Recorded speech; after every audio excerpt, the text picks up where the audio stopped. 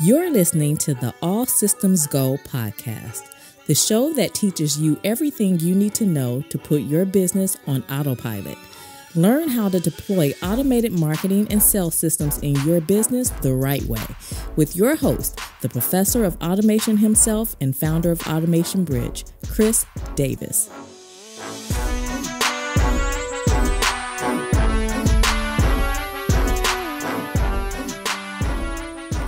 Welcome to the All Systems Go podcast. I'm your host, Chris L. Davis, the founder of Automation Bridge, an online publication for small business marketing automation where we focus on turning digital marketing professionals into automation service providers. And in this episode, I want to give you a major key to increasing your, your online conversions across the board. Okay.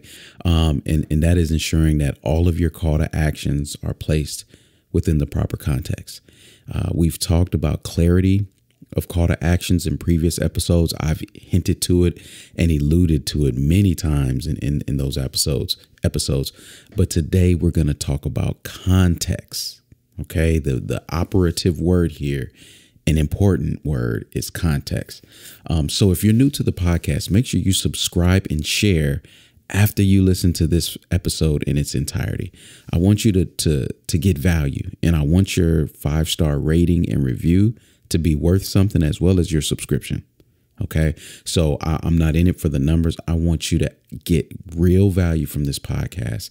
And once you do, you can go into to Apple's app and leave a five star rating and review. You can also find the All Systems Go podcast in all major podcasting outlets, including Apple Podcasts, Google Podcasts. You can subscribe to us on YouTube, Automation Bridges on YouTube, and any other podcasting outlet.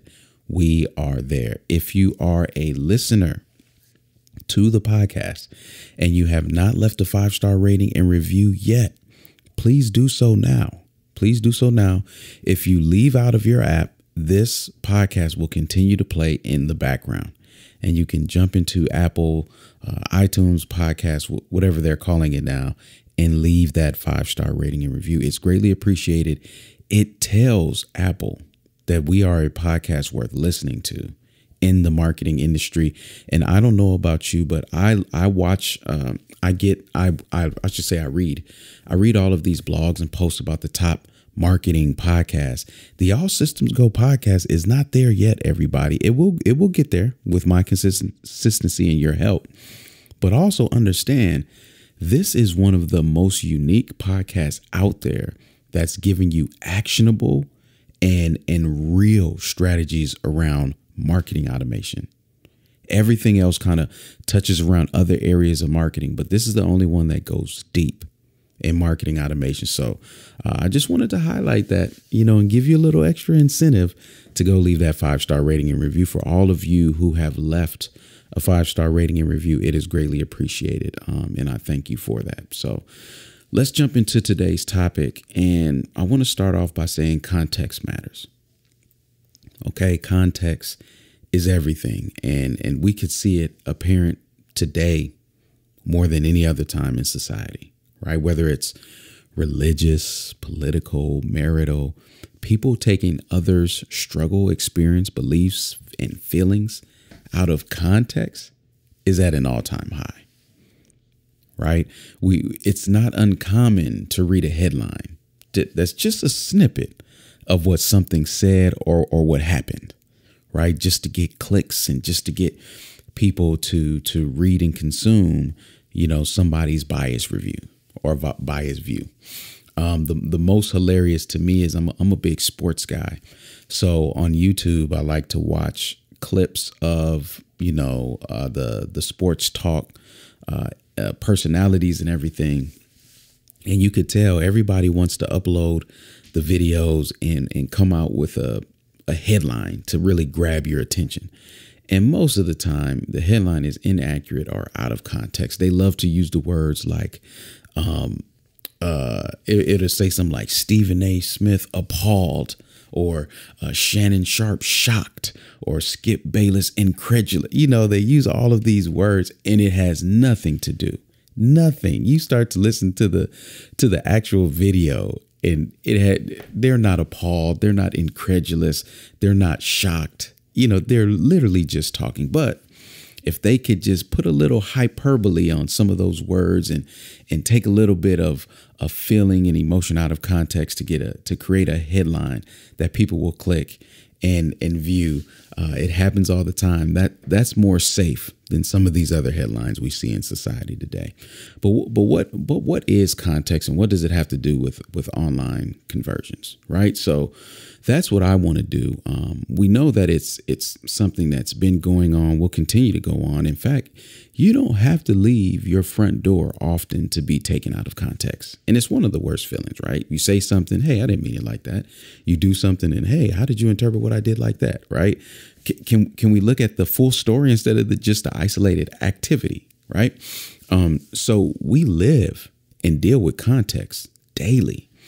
Uh, but I, I see a lot of people struggle making the connection with online conversions. All right. So let's start with Oxford's definition of the word context. Okay.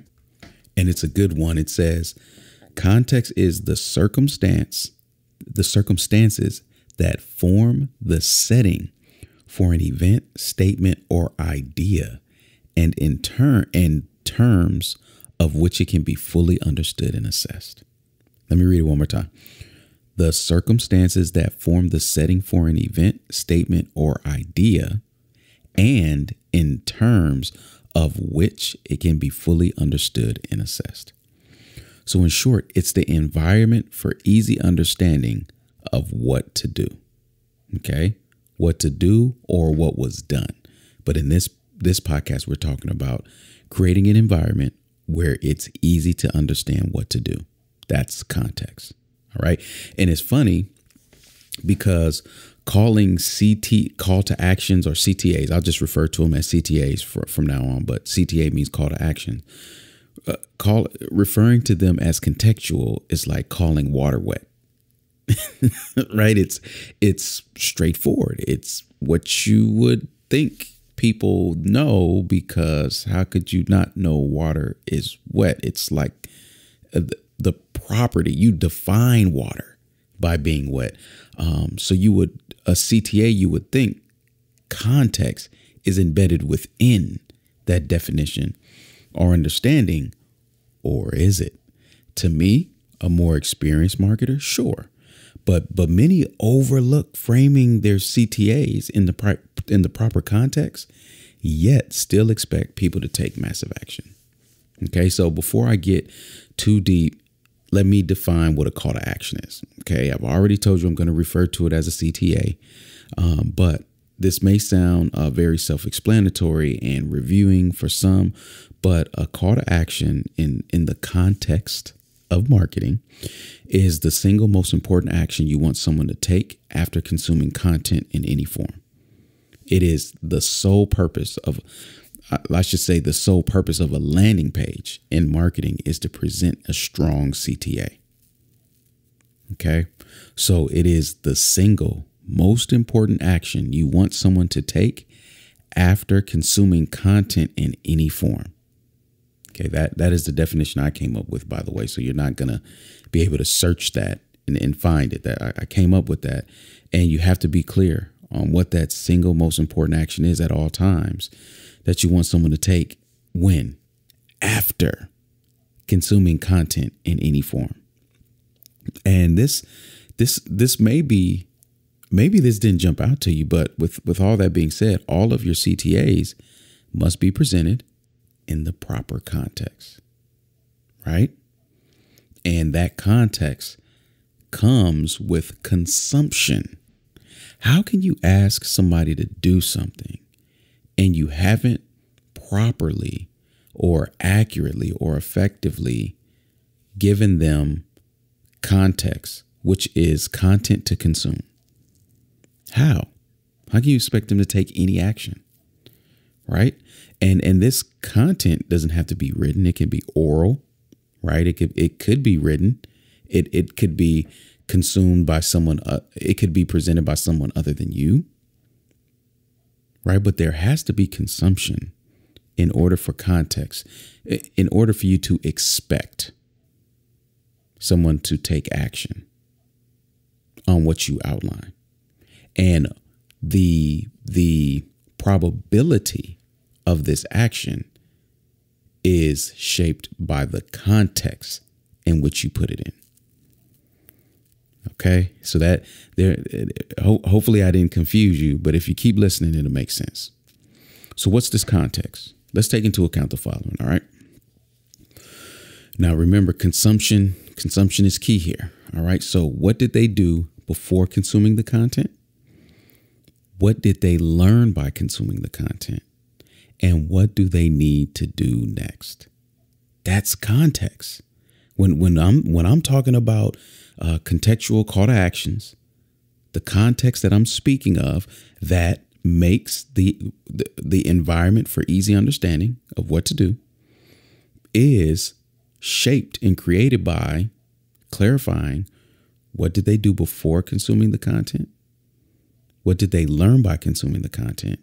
And what are you asking them to do next? You have to factor in all three. And what most people do is jump to the last. What do you want to do next? Okay. So, context for CTAs is about before and after. Okay. And you really have to view your, your call to actions in that sense. For, for example, here's here's an example. Someone visits your landing page to take a quiz for assessing the the profit the profitability of their business, right? The call to action is to take the quiz. However, in order for this call to action to be effective, we must factor in the before and after, aka the context, right? So so what are some considerations for us to take beforehand? Is one is traffic right? Where did they, traffic source, I should say, where did they come from? Because the power of the before is there, you somehow there was an expectation created, or else they wouldn't even be on the page to see the call to action or be in an environment where they can hear about the call to action. So, how did they get there? And when you're thinking about how did they get there, what was the framing? Right? And and by framing that leads us to our second consideration is what messaging did they see that brought them there? What are they expecting to see? Okay, so those three considerations are the source, the traffic source, where did they come from? What messaging did they see that brought them to you? And what are they expecting to see? This is this is before they even get to the call to action. You can't, listen, you can't even craft a call to action, an effective one, without taking that into account. Because all of this information, it shapes your design and copy on the page, on the button, on the slide, in your presentation, in your speech, whatever the content you're delivering. Okay or I should say, however you deliver your call to action, it's going to be informed by the three considerations of where did they come from, the traffic source, what messaging did they see that brought them to you, and what are they expecting to see. And if you don't take this into account, you'll get a disjointed customer experience where people may be seeing one thing to get them excited. They click the link, and what they land on is totally opposite and even they're confused like wait a minute did i click the right link? And that and that's why consistency creates conversions.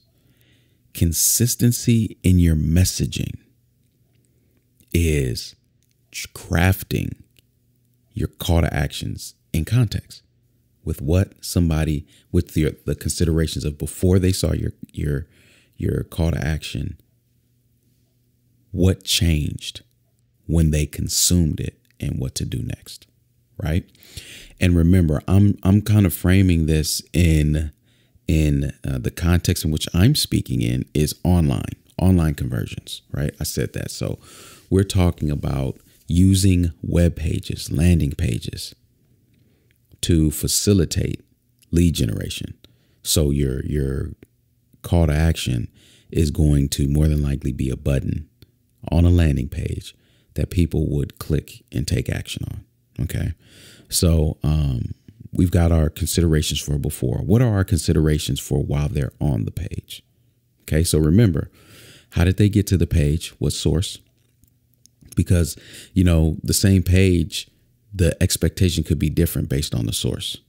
If you're coming to uh, one of my landing pages from Facebook, you may not have the intention span or intent as someone coming from LinkedIn. So the source matters right? And and and the messaging may be different, right? And by messaging, images are messaging as well. Not just words, but imaging. What did they see? You know, and what are they expecting to see? So people on LinkedIn are a lot more buttoned up at times, you know, the a lot more about their business. Facebook 50-50, maybe 70-30, even less, right? Business and fun. So we have to take that into account. All right.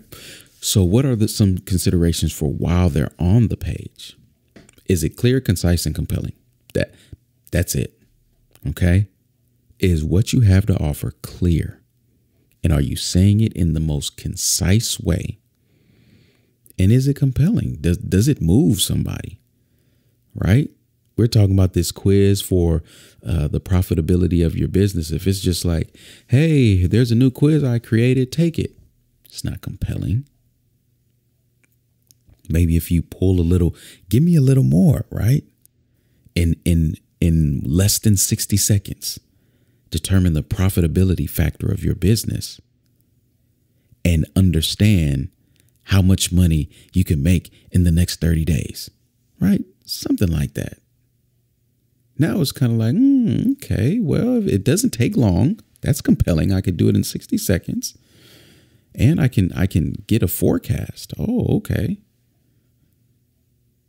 Right? Like that's copy, of course, but you have to take that into consideration when they're on the page. If you've done your before considerations, right? So now, if it's clear, concise, and compelling, honestly, that's about as far as that that's about as far as I'll go in this episode, I'll say, because what, what I could do is go on an extreme tangent about landing page optimization. That could be an episode in itself. And I believe uh, I believe we do have a episode on landing pages uh, earlier. So you may want to check that out. I'll put I'll put that link, I'll put the link of that one in the show notes okay, of that episode because there, you know, I'm talking about clear, concise, and compelling, but there's also structure to the page, right? Color usage, formatting, you know, uh, writing bullet points is an art, things of that nature. But for the most part, when they get on the page, you want to make sure that you're it's clear, concise, and compelling what you are asking them to do. And then the considerations for after, because remember, context is before, during, and after, right? We have to take all of that into consideration. So, so here's where a lot of people fall off. Okay, is afterwards they capture the lead, then they start focusing on the email follow up, if if any. Some people, believe it or not, yes, in 2020, there are some people that will capture a lead, and and think that that's they they got leads. Good, good job, right? But you have to understand the next page they see is critical. Note, I did not say the next message. And we should all, are you, my avid listeners here, my true supporters, you know how I am about thank you pages. You, if, if you are connected to me in any capacity, if I've given value to your marketing career in any capacity, you're using a thank you page. You're not using one of those forms that just says, thank you for your information.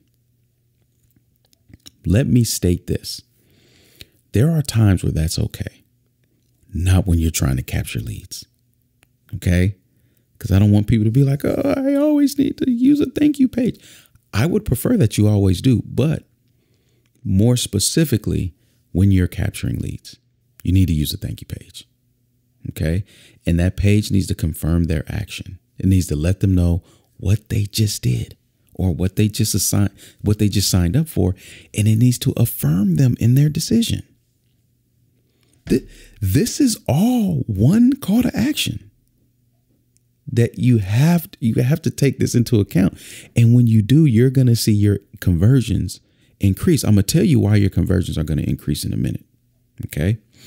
But you're affirming them of their of their decision a lot of times it could be social proof immediate access to it right and then you want to tell them what's coming you should have framed what they get clearly and concisely and in a compelling fashion on the page. So when you tell them what's coming next, you know, and affirm their decision, it's very consistent, right? You're just letting them know, hey, look, you clicked a button, you left a page, you landed on, an, on, on another one, and you're in the right place. Okay. And the key the key is here when you tell them what's coming next or affirming their decision and confirming their action, things of that nature, you don't want to make them rely on checking their email to take the next step. You want to make it readily available for them in some way, right? Somebody if somebody is opting in to the quiz like I'm saying here, it's easy because the next page they see should be like the start of the quiz. And, and if you want to, you could have some supporting data there, you know, some social proof to say, welcome. So glad you decided to take the quiz like 6,584 other entrepreneurs. Enter your name and email, you know, and, and click start or whatever the case is to, to go. These are small things that you can do, but it strengthens somebody's probability to take action and keep taking action. When I'm talking about contextual call to actions, that's what they do. They get people to take action and keep them taking action because each call to action is a handoff to the next. Right? So when I say, what did they do before? Now you're going to see, oh, what they did before was a previous call to action. And if that call to action was effective, that call to action's def- definition of what's next becomes the following call to actions consideration of before. it's like a, you know, like a Venn diagram, right? I see all these uh these call to actions as circles displayed horizontally overlapping. And the overlap of call to action one is what to do next. So call to action two's uh, leftmost overlapping is what did they do? Right? So these call to actions, they speak to each other and they link through the before and after. Because a strong CTA captures and prepares them for the next conversion event. And and honestly, um, I may have said this before. I don't know. I you know I say so much. Who knows? But you you do this well enough. An email follow up may not even be required to get them to take the next step. Okay, there you, you know there's levels to this. That is definitely a higher level where someone can take action, immediately be placed with the next action to take and take it. That's only done contextually, everybody. You have to know that. If, for instance, if somebody were to start the quiz that we're mentioning in this podcast and not do it, what is the consideration we need to take for the next call to action? Well, the call to action is to complete complete it, right? Complete the quiz. You fell off. How do I know you fell off? Because I'm I'm paying attention to what you did before that brought you here. You saw the quiz. I know you're interested in profitability. You started, and for some reason you stopped. I have to take that. That that starts to shape my context. Okay, so now you're in your email inbox reading this email, which should be framing that, hey, I know you get busy. Hopefully nothing happened. If so, let me know. Uh, but just in case, here's the link to pick up where you started off, to pick up where you left off. Click this link, fill out the quiz to get your profitability factor uh, so we can work with you to increase it, whatever the case is, right? But that call to action is contextual because it's speaking to what you did before and it's telling you what to do next. Right? And it's in a compelling way. It's different than, hey, uh, you didn't complete your quiz. Click here to finish it. Would that work? Possibly. I've seen it work in different industries, but why take the chance? Right? Every time you ask someone to do something, make sure you understand how they even got to the place where they could see what you're asking them to do. Acknowledge that. You don't have to always call it out explicitly. Okay? You don't always have to say, since you did X, Y, and Z, you can just, since you know what they did, you can assume what they know and speak to them like they know it. Right? I know profitability means something to you, right? Because you were literally on the page that was there to take a profitability quiz. You entered your information. So I don't have to say, hey, you entered your information. Since you entered your information on my landing page, now I can assume because the context is the context now is mm, you're interested in profitability because that you, you that was the, the precursor that was the pre-step right so i can just say since profitability matters to you as it should and then I go on with with the rest of my messaging. So this is crucial. This is crucial for email because you all know. Uh, let me not say that. Um, because I've always viewed I, I, use email as reinforcement. I do not drive people to email. I don't say, oh, I need them to open my email. I would rather people not open my email because that lets me know that my call to actions are sequenced strongly. One is properly preparing somebody for the next and they're taking action. Email is a reinforcement, it's to fill in the gaps if they fall off. And now, when you're drafting that email sequence, when you're drafting that, that drip sequence or whatever you want to call it, every email now should be in context. And it's easier in email because you know the email you sent to them previously. so you know what they've seen. And if you want to get even more dynamic in your follow up, you can even look for if they opened or clicked. It's all contextual. For that email, if you haven't opened the previous one, I need to acknowledge that. In my single double blueprint, I walk through the logic and how to do this automatically. And what you'll see is you send an email, you know, for what they requested. And if they don't open it, they receive a different email than somebody who has opened it because the context is different. What you did before is different. One of you opened, one of you didn't. So I want to talk to you differently. Hey, did you still want this if you didn't open it? But if you opened it, I see that you've seen it. And since you haven't taken action by maybe clicking or whatever, maybe I do another another uh, case where I say, have you opened and clicked? But in the digital field, the reason why con- contextual CTAs are the only CTAs that you should be creating is because you can track everything. So it really doesn't make sense for you not to be using all of this information when you're drafting your call to action. It doesn't. We're not traditional marketers where we did not have access or access to what was going on was very expensive because technology was very outdated. No, you can see you can see the page that they opted in on. Why not use that to change your messaging? Listen, I track everything upon capture, as much information as possible. I want to know it all because when we talk about crafting the customer journey, every time you ask somebody to do something, if it's not contextual, then it's not personal. It can't be personal without context, right?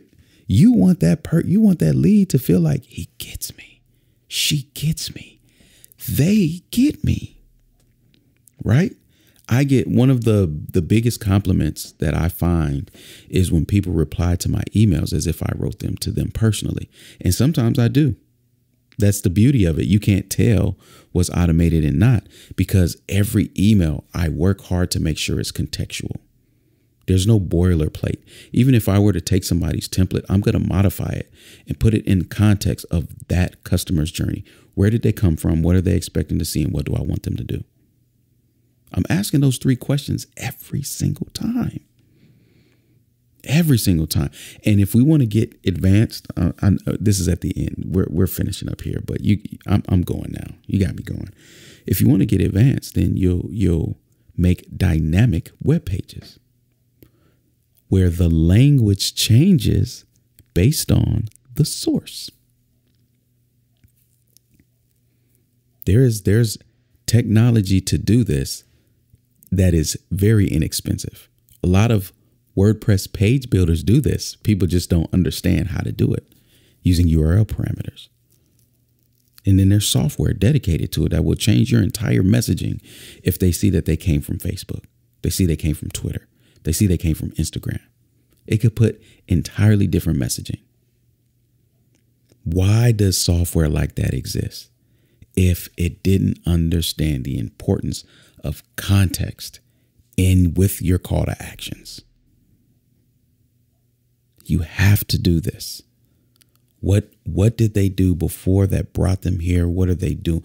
What are they consuming and what am I asking them to do? That's every call to action. You better not type copy for another button, another link, another whatever without thinking through those three considerations.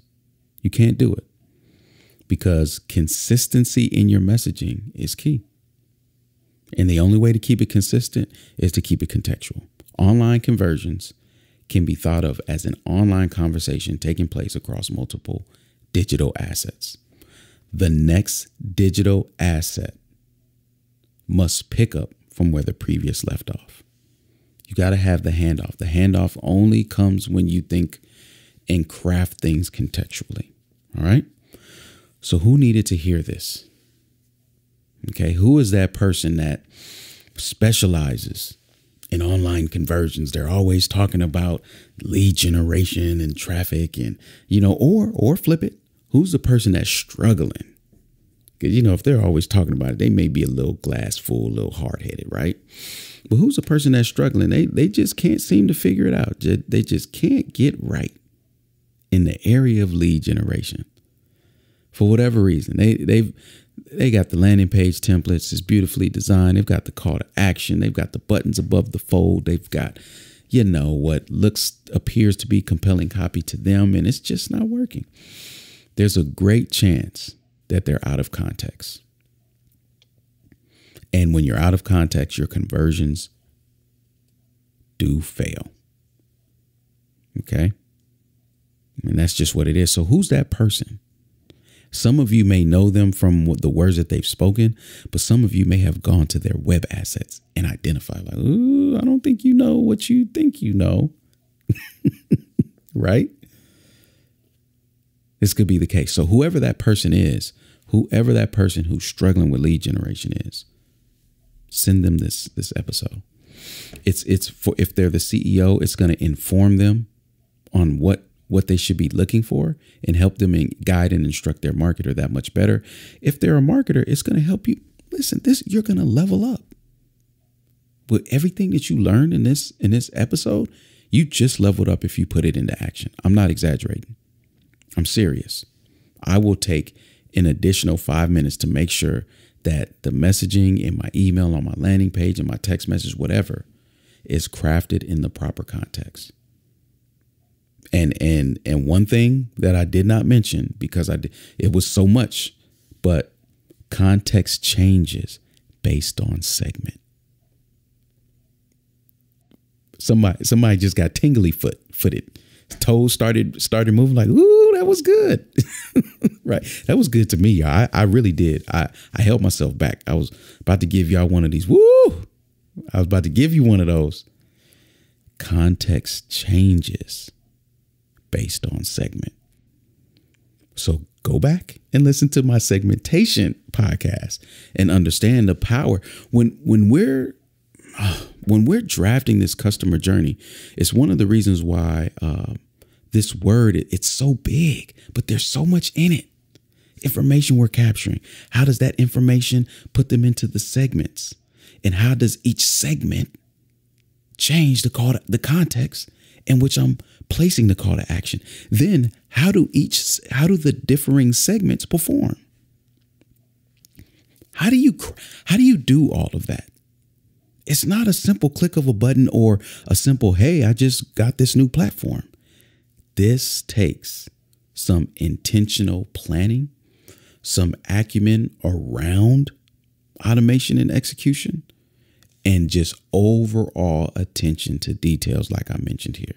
And that's why here at Automation Bridge, we're dedicated to training digital marketing professionals on matters like this at a deep capacity.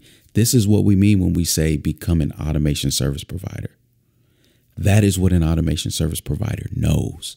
They know how to craft that journey. They know how to keep their call to actions contextual. They know how to how to do dynamic segmentation. They know how to send messaging to anybody at any point throughout the customer journey that's contextual and will elicit the the the it will increase I'll say the probability of them taking action at any point. That's what we do. And that's what small businesses are in dire need of. They need that. They need people who can craft these these journeys online by by by learning the the marketing and technology, how they play together and creating systems to deploy in an automated fashion for rapid growth. So if that is you, time is now. Go to automationbridge.com forward slash ASP. That's for automation service provider, automationbridge.com forward slash ASP to take the next steps. And uh, what it, what we'll do is you'll talk to someone on, on my team to assess uh, if you'd be a good fit for our program and community. Okay, because the time is now, the need is greater than it's ever been. I just don't want you to be left out. Okay, but selfishly, I want, I want to clone all that I know in as many people as possible. That as as I guess that's not selfish, huh? But it is. That's what I desire to do. Outside of anyone else, any prompting, that that is my desire, my my motive, my push, my driver. Listen to me when I say this. The information, the information that I have accumulated over the last seven to eight years in the startup space, you're not going to easily find it, understand it, or know how to apply it. Less you join a community and, and, and get into one of these programs. I'm just being honest with you. I just want you to know that in your journey, as you're out looking, just know that, okay? There's a place for you. I have prepared a place for you already. All right. So all the show notes to this podcast are accessible at automationbridge.com uh, forward slash podcast. Not only this podcast, but all podcasts. You can also subscribe there and listen to all other episodes at your leisure. All right. So until next time, where I see you online, automate responsibly, my friends.